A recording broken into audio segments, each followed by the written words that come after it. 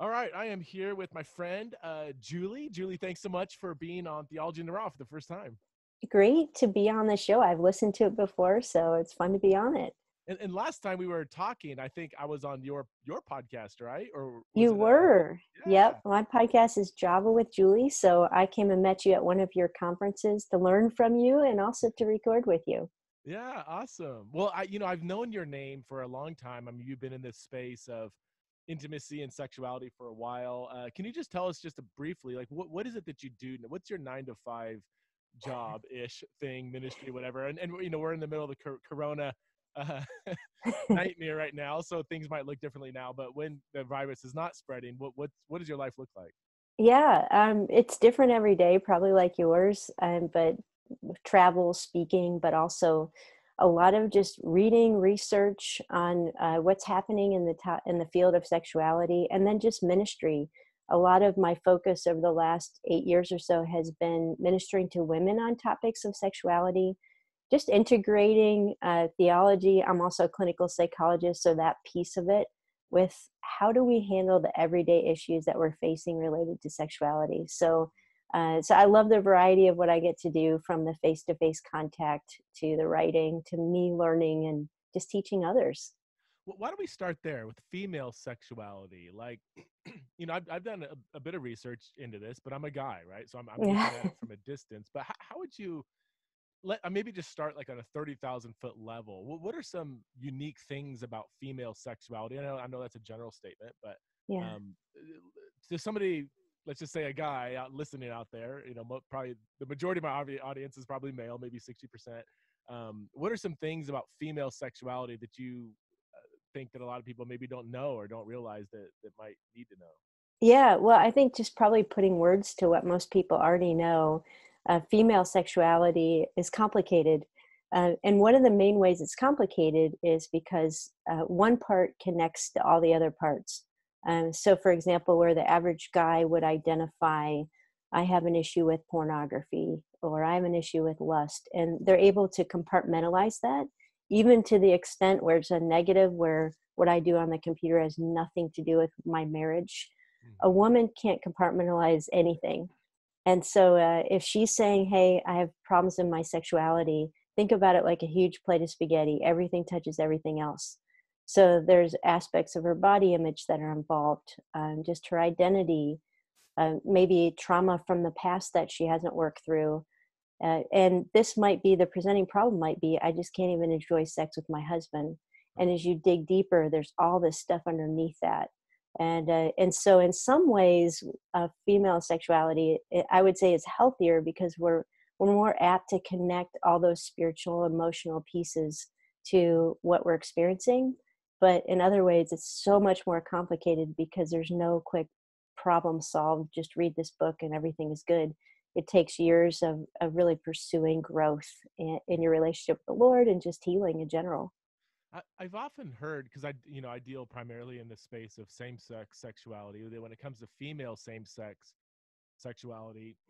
it can become complicated because, well, your your spaghetti analogy is I mean, super helpful because the you know there's a difference between say um, emotional attraction, intimate attraction, romantic attraction, and even sexual attraction. Whereas guys, it's kind of like you know i'm sexually attracted to this person not that person that's kind of the you know yeah extent. yes for, for and i know I'm, again i'm using stereotypes but for most guys it's just it like you said it's very easily to to to think through these different categories but for women i mean could, is it possible for for a female to be say sexually attracted to guys but maybe romantically or even intimately or emotionally attracted to girls? And that could be really confusing right? Especially for a 16 year old or whatever who looks at another girl and has an emotional kind of spike and it's like oh am i yeah. am i bisexual? Like what am i? You know um is that yes no you're absolutely hitting on something big there which is why we're seeing sort of an explosion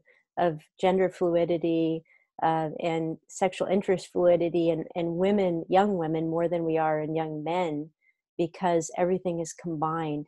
And so, very few women, I would say even older women, would say, I'm sexually attracted to men, but I feel more connected to women because it's all mixed together. We can't discern between what it is to be sexually attracted versus just feeling safe, feeling like that person knows me, I'm comfortable with them.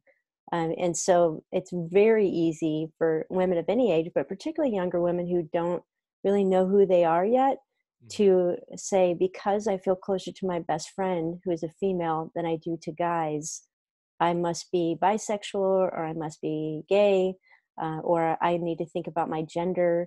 And, you know, I would say pretty much any woman would say, yeah, there's definitely been seasons of my life, if not my whole life, where I feel closer emotionally to women than I do to men, even maybe yeah. my husband, because uh, because in general, guys just don't get girls. You know, they don't yeah.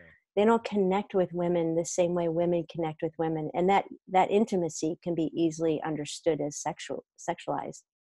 Is that because I mean, and this is purely anecdotal, but I feel like Eh, it's anecdotal, but I don't think this is an overstatement. When I, when I speak to youth groups or you know junior high groups, high school groups, which I don't do a lot of, but but periodically, I, I would say it's almost more likely that when I meet a teenage female, they come up and talk to me or whatever. I feel like the the rate of girls who say they're bisexual is almost higher than those who say they're straight. Yes. maybe it's one, you know, maybe it's, I'm talking about same sex sexuality, and and so maybe those are the ones coming up to me. But it's like um, is there an explosion in specifically teenage girls identifying as bisexual rather than even straight or lesbian? Is that are we seeing a spike in that? Yeah, I think we we have again. It's more anecdotally and just little pieces of evidence that we see coming out with research, not just in terms of who they're attracted to, but also the explosion of gender fluidity and how they define themselves.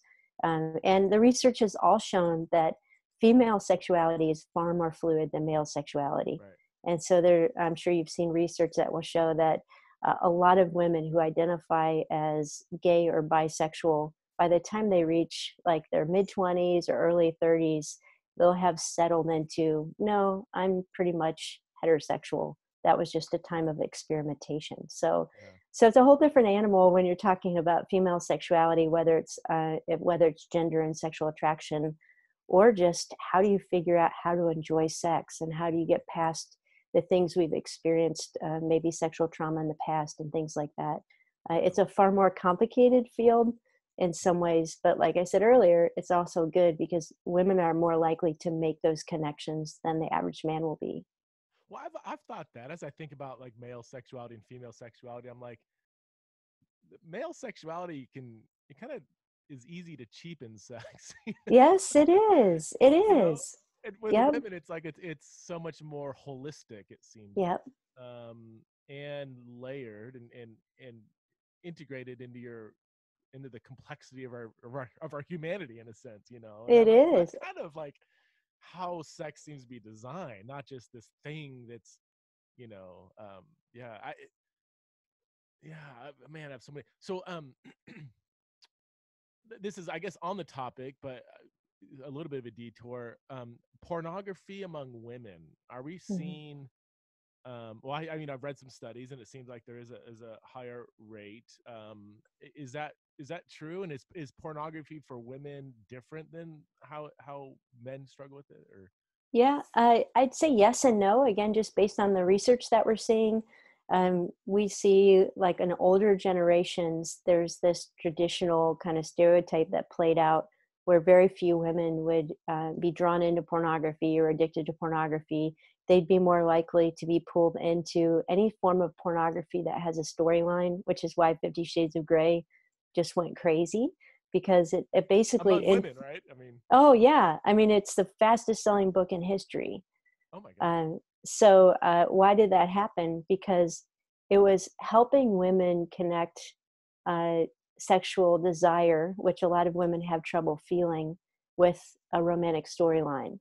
And so a lot of women won't immediately get pulled into pornography unless there is an element of this is connecting me through fantasy with somebody or online sexual chat rooms. You know they're more likely to want that kind of connection but that's not always the case and we're seeing that particularly with younger women who just uh, have a similar draw to pornography than as men have traditionally had where it's just they see something exciting stimulating their brain starts reacting to that uh, with dopamine and other chemicals that just reinforce this is where I can find pleasure, this is where I can find escape. Um, but again, women are also more apt, as we talked about, to be able to identify I'm looking at porn because I'm lonely, I'm looking at porn because I'm bored. Where you ask a man why he's looking at it, and he'll be like, I don't know, I just like it. Yeah. So, um, so women are more apt to tie it to what's happening emotionally with them. Gosh, that's yeah, that's fast. So what I don't understand is with I haven't read the book or watched the movie, probably won't. Fifty Shades of Grey. Although in in my research, I do find myself having to, you know, pay attention to stuff that I normally wouldn't, just so I'm familiar with it. But yeah, I, I yeah, n- not much of an interest there. But um, but it isn't Fifty Shades of Grey doesn't have some pretty abusive like BDSM stuff, and what's the draw for women in that? Like, yeah. so it's not just like some romantic, you know, novel mm-hmm. or something, some steamy novel. It's like it seems like it's, again, I'm, I'm, not familiar, but it seems like really unhealthy. Like it, yes, drawn to this. Is that? Yeah, it's good. Uh, I actually did quite a bit of research on this when it first came out. Dannah Gresh and I wrote a book called "Pulling Back the Shades," and that oh, book actually gets into why are women we, reading Fifty Shades of Grey? Why are we drawn to it? And uh, and absolutely you've got the enticing sexuality but it is mi- mixed with bdsm uh, which is uh, you know bondage sadism masochism i can't remember the last one you, you get uh, it um, yeah. But but yes but basically uh, the storyline is that there's this young amazingly handsome man who's like in his late 20s and earning millions of dollars again here we go with fantasy but he also has abuse in his past and one of the ways that he acts that out is he has a red room of pain. And he has contracts with women that basically give him permission to engage sexually in some bondage activities. And so he and the main character fall in love. And it's this tension of she really loves him. She's a virgin when she meets him. Uh, and he introduces her to all this uh, this bondage type sexuality, which in the novel and the series of novels turns out to be very romantic. Um, and again, this is fantasy. And one of the things we talk about in Fifty Shades or pulling back the shades is we have to understand the difference between fiction and fantasy. Fiction is something that could conceivably happen. Fantasy is something that takes us out of the realm of the natural world which uh which you know like star wars we're, we know we're entering a different galaxy the rules are different. In sexual fantasy we've got to realize that the author without telling us is taking us into a world where reality this couldn't happen. So in reality you can't fall in love with a man who has a red room of pain and is engaging in uh, you know bondage type things and uh, and abiding by a contract where you have a safe word and this becomes a loving romantic relationship. Hmm. um, but we're pulled into it for a lot of reasons. You know one of them which is a theory which i think has a lot of validity, validity is we live in a society where men are very passive. And there's a part of a woman's heart that wants a man who's going to take charge uh, and who's going to say okay i'm making a decision uh, i'm stronger than you I'm going to entice you with my strength, but somehow also protect you. Uh, and so I think even that element of this young man who is taking charge and even overdoing it mm-hmm. taps into some of the desires of a woman's heart that we don't talk about very often in today's culture. So you think the backdrop of male passivity in this day and age might have nurtured the the the sales of, of the book? I do. And it's not just me. Like Barbara Walters, they were talking about this on The View when Fifty Shades of Grey was really big. And she said this. She said, let's just say when you go home, you want a man to be a man. Um, and and there are a lot of secular voices that are saying there's something very romantic about a man's strength and a man just taking charge. Um, yeah. But again, in our culture, you never hear that. It's, it's politically incorrect to even right? say it. yeah, but, but yeah. it's funny because yeah, I, I, again, anecdotally, people I talk to, I, I, I'm married to my wife. We have four daughters, teenage daughters, and I'm, you know, in the work that I do, I'm around men and women equally, and and uh, I, I would say it's probably true with the majority of women that I that I talk to. Um, yeah, I mean, so my my, my wife, who's in, incredibly capable. Like she literally just got done building an a house in our backyard, an art studio. Like she's out Yes. there with a um with my chop saw, hammer, nails, screw gun. She put in windows. She put in. I mean, she's. Um, you know, I tell people it's almost yeah. It, she's she's a, a very capable, independent kind of woman. Yeah. She would be the first one to say, "I want a man who's going to be a man and and yeah, make the decision and take charge." And she she can't stand male passivity, even even though she's again, you would expect somebody who's who's very kind of like um, capable and independent to maybe you know walk over men or whatever. She's like, "No, I'm the first one to say if I walk in the room, I would much rather have a man take charge." Um, but yeah, if he's not going to step up, I can do it. you know. Yes. Yeah. Um, and and i think in some ways it takes a very confident capable secure woman to say Mm-hmm. that because she's not threatened by male power she's actually inviting it um, yeah. but but these these dynamics are so messed up in our culture that we don't even know how to give voice to what we want um, and so i think 50 shades of grey tapped into something that is curious um, and we're not really sure why we're so drawn to it I- I wonder how many people have bought in the book while we're talking. I, I hope we're not, some people are like, I'm not, I'm not supposed to be drawn to this, but I need to read. No, I, I, I would encourage you to read Pulling Back the Shades instead. I, I read all three books, um, Fifty of Fifty Shades of Grey, just so that I could write the book. Yeah. Uh, and I wouldn't recommend that you read it. Uh, Yeah. I actually was really worried about reading it and Yeah. prayed a lot about it, and actually read it on my knees just as a posture of prayer because I didn't want you know there's just a lot of bad stuff in there i didn't want it to take plant in my heart and my mind so I forget, was it a male or female author? Is it a male it was a female author from It was a england female- Okay, so Mhm. that, wow. yeah That makes, okay, interesting. yeah Um, t- uh, tell me about so your latest book is rethinking sexuality, God's design and why it matters, and you've used this phrase, um, uh, uh, sexual discipleship, or what's the what's the phrase you use? Is that it? yes sexual discipleship yeah Can you unpack that a little bit? And, and I want to I want to tether this to the purity movement and where you see maybe some pros and cons with with that movement. Um, yeah absolutely Um, yeah um so rethinking sexuality and really this idea of sexual discipleship came out of uh, the ministry that i've been doing with women really across the country on sexual issues and what i realized is that uh, even christian women who do their bible studies are very engaged in church uh, love the lord they really didn't know how to have a biblical response to sexual questions, whether it be something like, my husband's looking at pornography, I don't know how to respond. I have no sexual desire in marriage. I'm a single woman, I don't know what to do with my sexual desire. On and on. I, I, where was God when I was abused? Mm. All the questions that we get.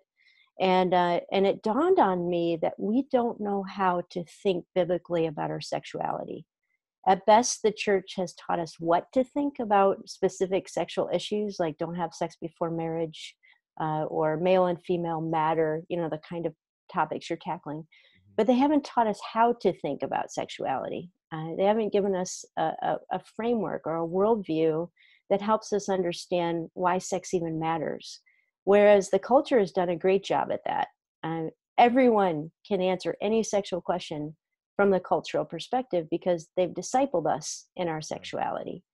Uh, where at best the church has done maybe some education or you know, had sort of this problem solving approach of let's just create groups for people that are hurting. Mhm. Um, but uh, but sexual discipleship is more this idea that sexuality isn't a problem we have to solve; it's a territory we have to reclaim. We have to reclaim the narrative, and uh, and very few, if if like any Christians, could tell you what is the narrative of why our sexuality matters from a biblical perspective. Um, and so it's it's really an all of life call to maturity in our understanding of biblical sexuality and how we apply that in our own lives as well as how we minister to others. you you mentioned this is so good. Um, how how how would you unpack? Uh, and I'm sure you do this in the book, but um, yeah, I guess well, let's talk about the biblical narrative. What what is Yeah. the, the the two minute pitch of what is God's design for sexuality? What's the purpose of of sex? Is it just for Yeah. pleasure? Is it just you know is it for procreation all the above Mhm. or whatever like how would you yeah Yeah. Uh, yeah if you if you don't mind if i can set this up a little bit just by talking about two other narratives sure. that i think are good to contrast it with um, because we all are walking around with a narrative about our sexuality and most of us aren't even conscious of it. Um, so the predominant narrative in our world is a cultural narrative that's based on humanism. And it says that sexuality matters because it's a key part of our identity and if you want to be a whole self-actualized person you need to experiment and look inward to find out what is going to make you happy sexually. Uh, you can't be a whole mature person unless you do that which is why in our culture it's considered unloving and even immoral to get in the way of somebody's sexual experimentation. Yeah. Um, so that's that's the narrative that most of us are swimming in and it's why when we open the bible it doesn't make sense yeah. that god would say don't do this or save sex until marriage. How are you going to experiment if you follow those rules? Can, can i can i uh, yeah, dig into that a little bit? Because every now and then i get this question at conferences that i do. The question is typically framed like this. Since we know from science that we we like it's unhealthy to suppress our sexuality that we kind of need sexual expression to flourish therefore yeah. isn't it inhuman to call you know call somebody to celibacy or whatever to repress their sexuality. Now there's so many assumptions built in. Is is there are there some studies from science whatever which doesn't bother me at all because there's yeah.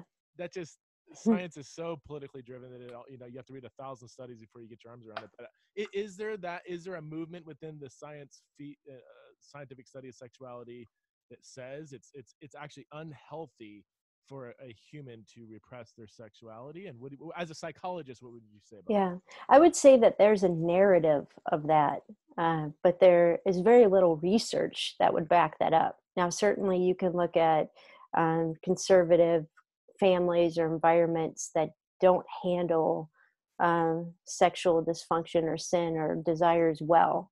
And we'll talk about the second narrative in a minute that kind of, I think, identifies that. And certainly you can point to research that says, okay, if a, if a kid has experienced same sex desire and we put them through, Right. uh, you know, this really repressive kind of situation and people reject them, they're at higher risk for depression and suicide.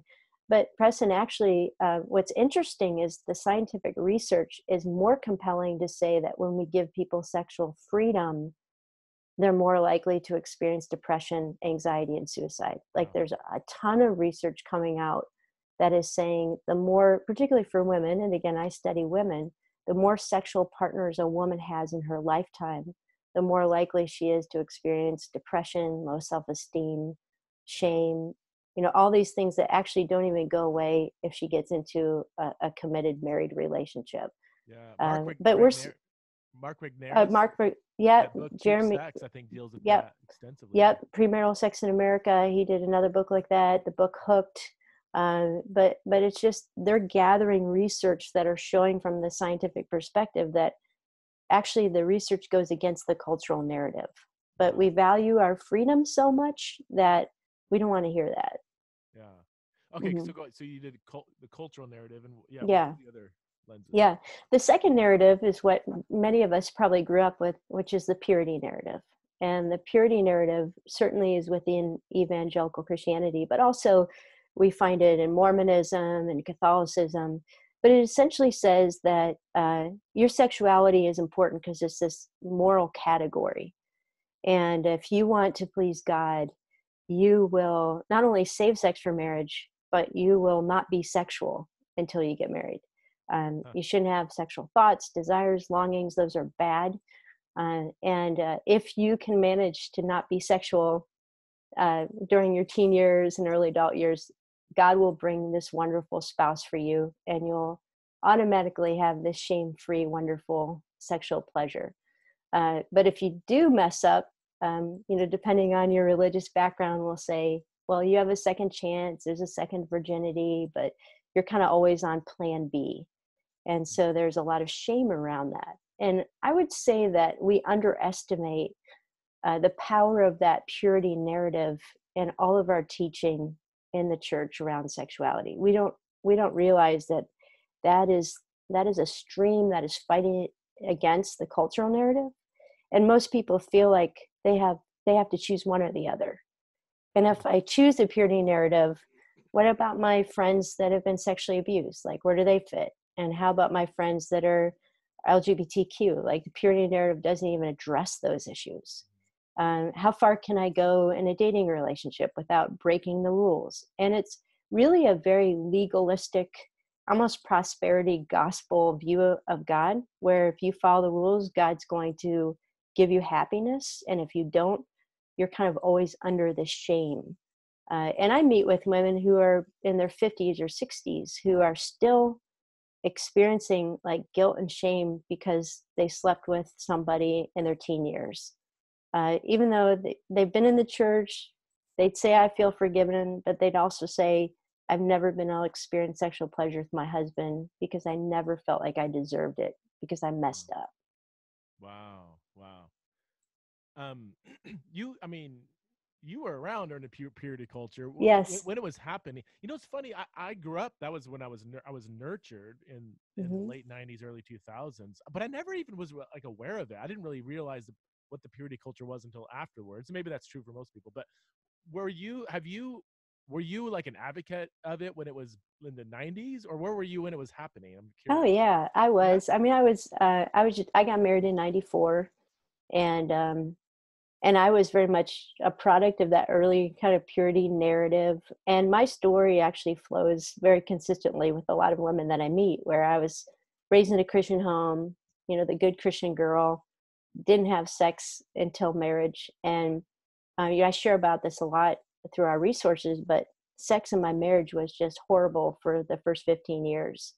Uh, a lot of pain during sex, and part of that purity narrative was just i carried that on with well i guess this is just something i have to grin and bear and it's for my husband's pleasure and if i'm a dutiful wife i need to meet his needs even if it's painful for me and i'm a clinical psychologist at this point you know counseling couples and but this is this was all that was out there from a christian perspective uh, and there's no help. There's no you know you get together with other wives and a lot of wives are that way. Yeah you just kind of have to do it because it's your duty um, and and so just even the work that god has called me to has done a lot of healing in my life and my marriage. I had no idea first of all how much i believe that purity narrative and second of all how destructive it was even in my own life and certainly in the women that i minister to wow okay so the third the third uh, narrative. The, yeah. Discipleship. So you have to feel the tension of those first two, I think, to yeah. appreciate the third. But the third is really based on this idea that sex matters. The reason it's so important is because it's a physical way that God has given us to understand an aspect of His love, His covenant love.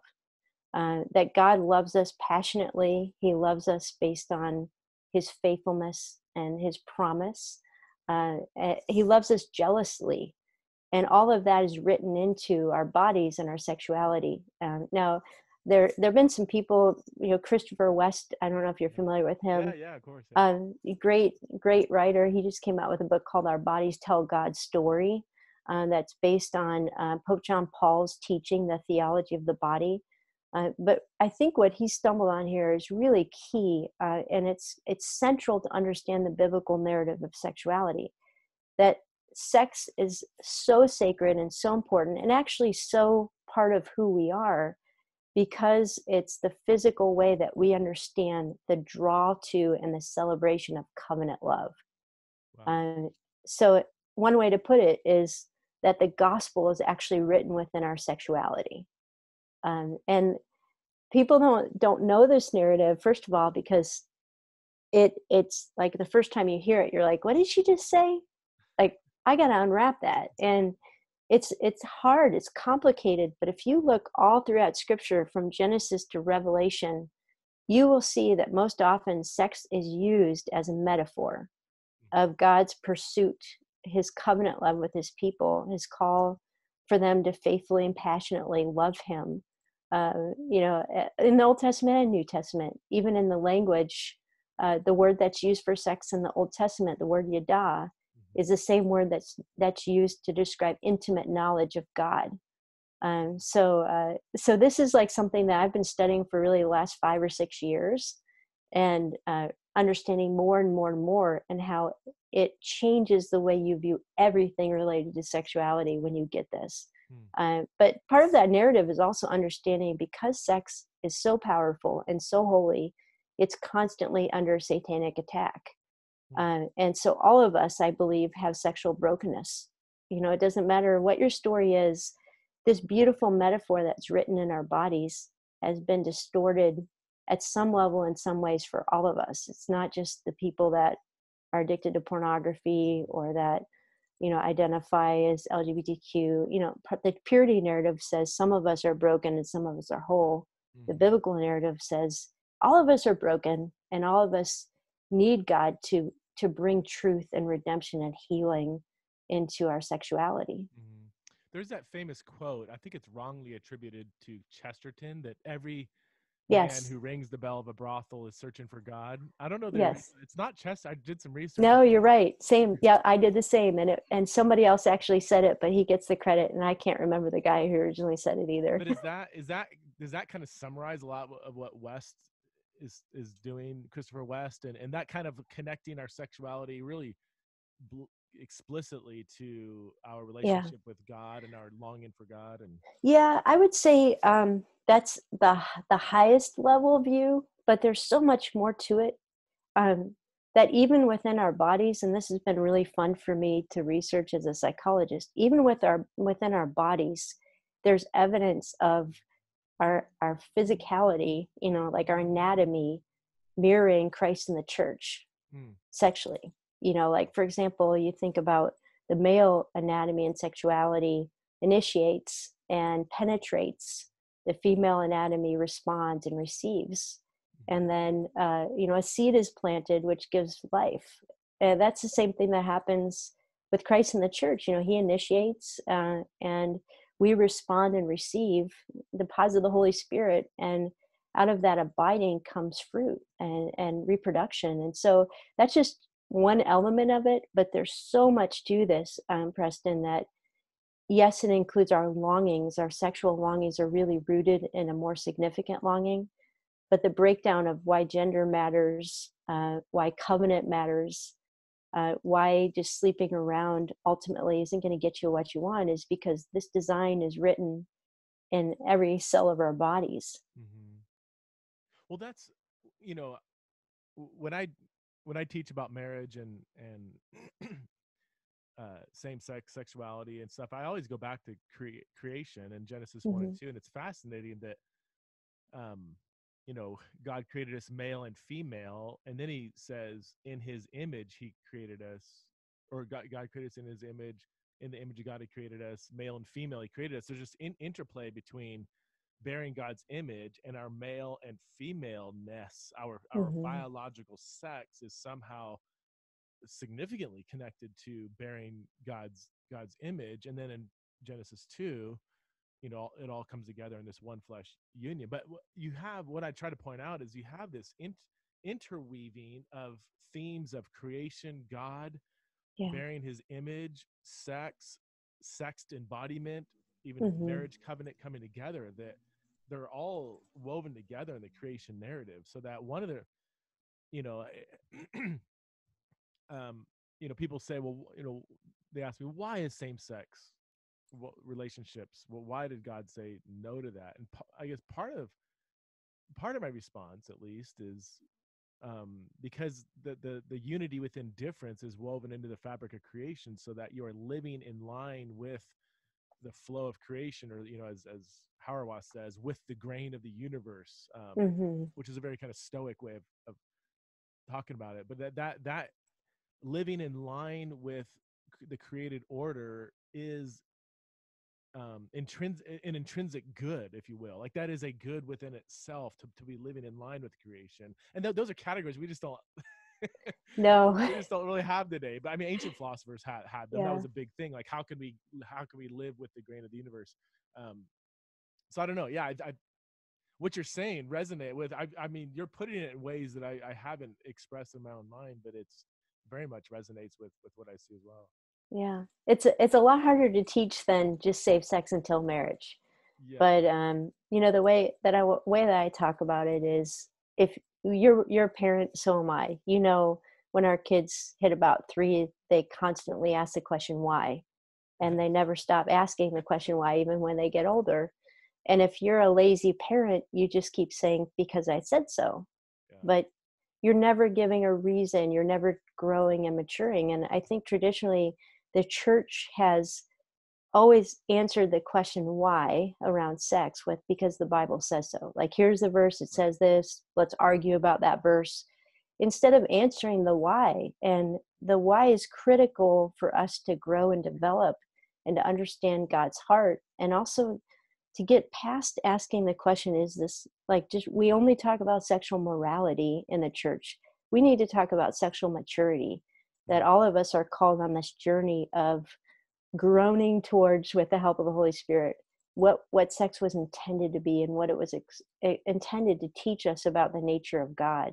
Um, and so I, I think there's a lot of work to do that the pain in our culture is bringing up um, but when we get too focused on one problem or one issue, we miss this larger picture that God is calling us all to, whether you're single or married, regardless of what your past is, regardless of what your struggles might be. Hmm.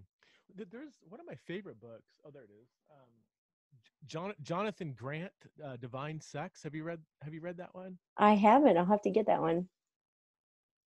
It's uh, this one. Okay, looks good. He's um a compelling a compelling vision for Christian relationships in a hypersexualized age. It's one of the best. in fact, as you're talking, I'm like, I want to go back and read this again. It's been probably three years.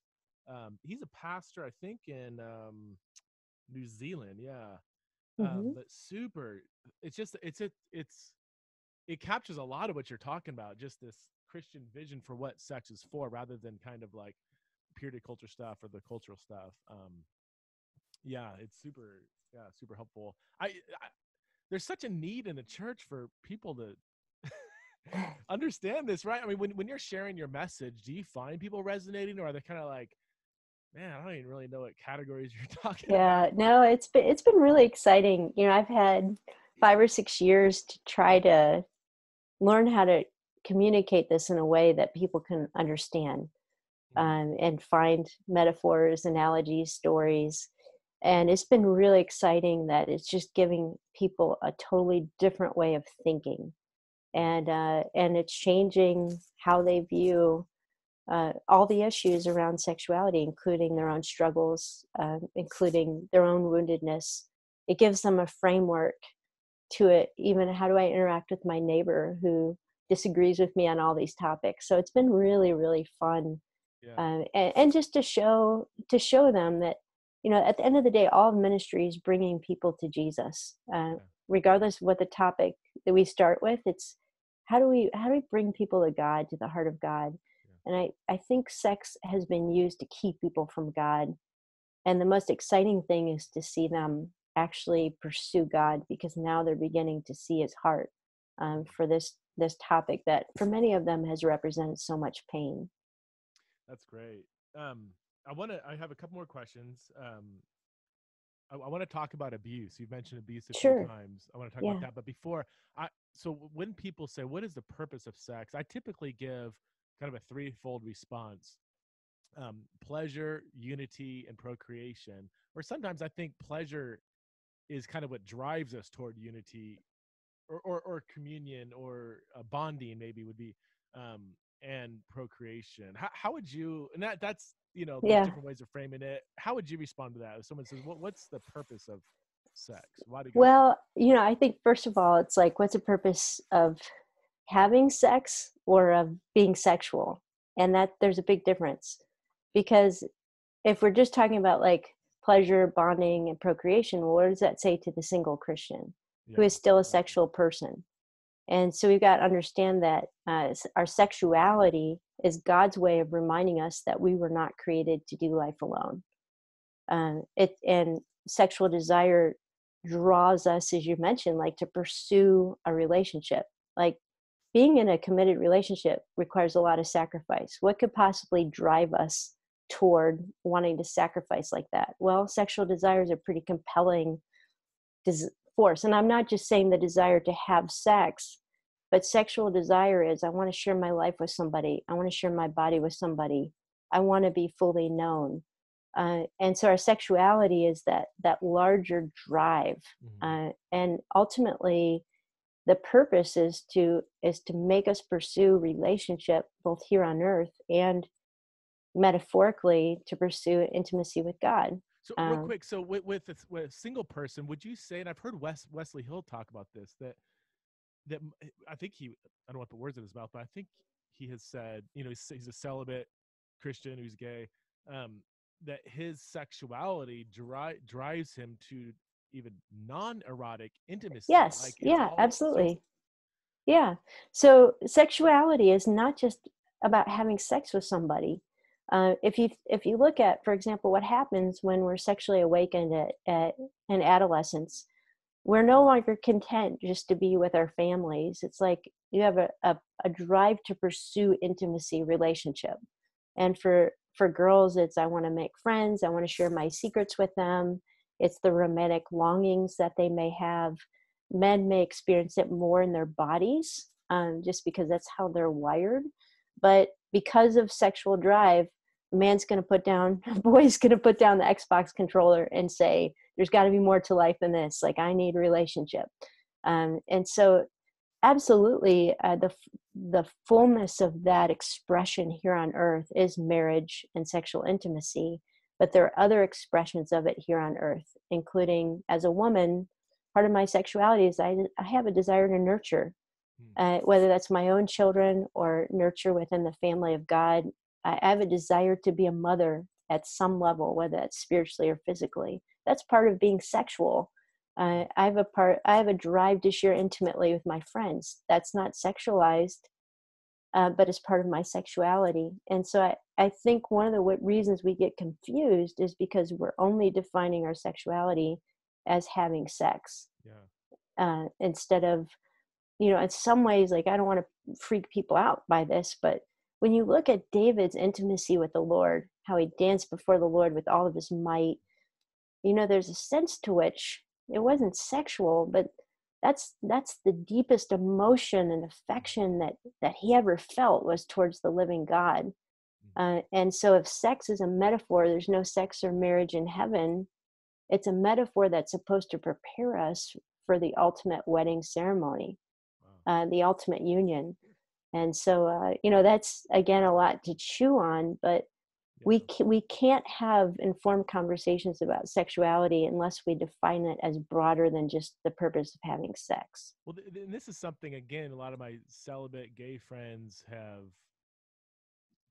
helped me understand or you know tried to help me understand. I, you know i'm still trying to get my mind around it but the, when we re, when they would say you know when when you reduce even same sex sexuality to just yeah. a desire to have sex with somebody of the same sex that it cheapens and minimizes the holistic nature of our experience and even and this is where some christians same-sex attracted christians have gotten or are i think misunderstood or just not understood by some more straight conservatives when they say there there are aspects of my same-sex sexuality that are good or say drive me to good things so like mm-hmm. my you know like even wes hill and others would say my need for non-erotic same-sex non-erotic same-sex intimacy hanging out with other guys in a very intimate deep way that's not sexual is still shaped by um my same-sex sexuality because my same-sex sexuality isn't just about having sex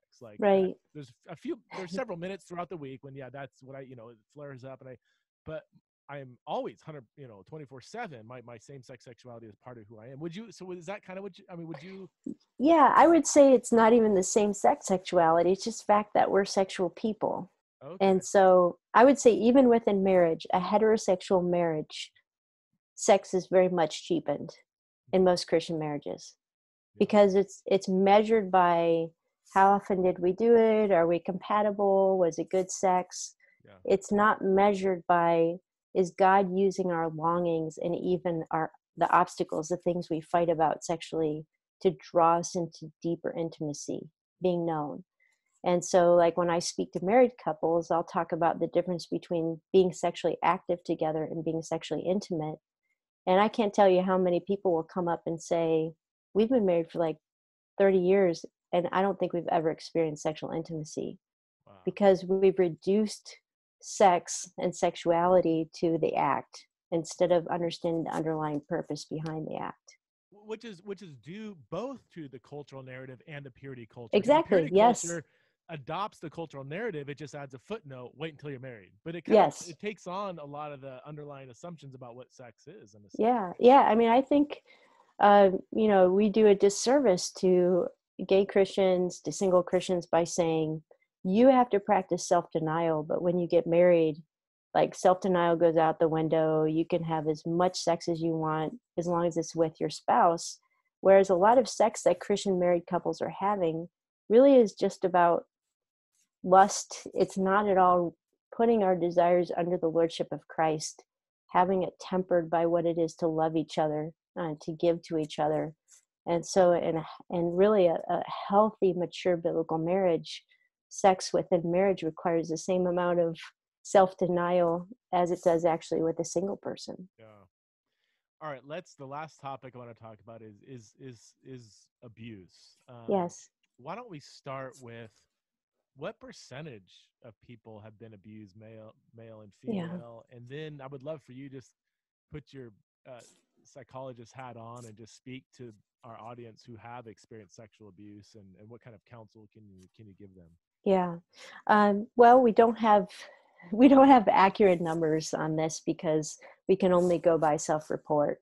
Um, but based on the self-reporting numbers we get, uh, most people would estimate that um, one in three women have been sexually abused, wow. and one in about five or six men have been sexually abused, which is far more people than I think most of us assume.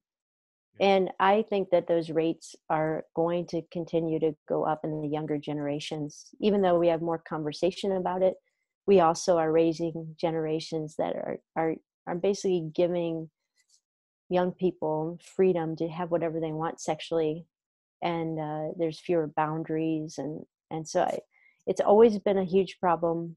It's going to continue to be a huge problem. Uh, for those who have experienced sexual trauma, you know, I, I think the first thing that I just want to say is that I am so sorry.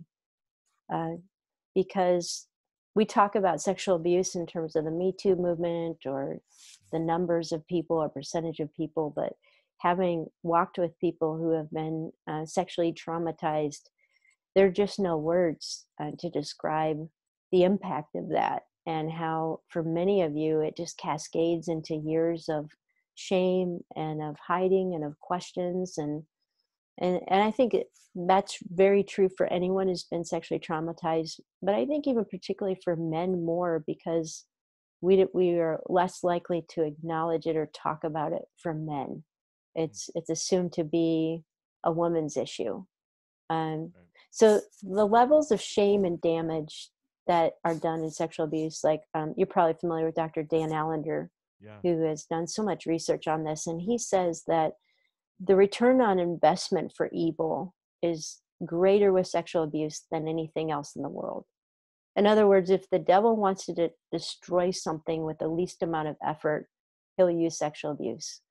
Because in the span of 30 seconds, a person's life and just understanding of safety and even the trust in their own bodies is undone and that can uh, that can yield this the impact for years to come. And so um, i also want to say in light of that that with with dan's work and so many other people's work healing is possible and redemption is possible.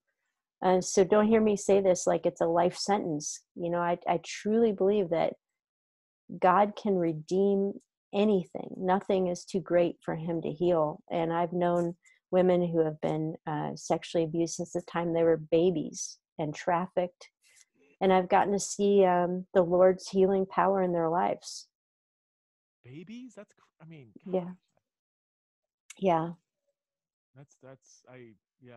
Um, I, I, that's not part of my story nor my wife's story or, uh, um, I've got several friends that that's part of their story, and so it's it's it's a journey for me to even wrap my mind around that. I mean, I I don't have a category for what it is to even experience it, let alone be on the perpetrator side. Like I just don't. Mm-hmm. Even that that's a whole other conversation. Like what would it drive is. somebody to do to violate somebody in that way? Is it true that like those who have been hurt end up hurting like like most people yeah. who are abusers have been abused is that, is that yes true? and what's the psychology behind that i mean uh, well there's lots of it and you know i think first of all uh, your sexuality has been awakened at a young age mm-hmm. um, we actually have on our Java with Juli show a few months ago i interviewed somebody who was a sex offender and he describes in detail like how he was abused as a child he didn't know what to do with those feelings and thoughts and he, his sexuality is awakened and so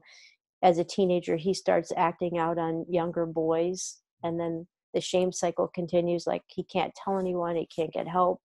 You know he actually spent six years in prison um, uh, but but yeah very much a case and not just typical of what we think about like that kind of story but also a lot of the women that I've worked with that have pretty severe sexual trauma at some point in their healing will say, I've acted out on other people, like um, as a teenager, as a young adult, and they have to deal with just how do I carry that shame?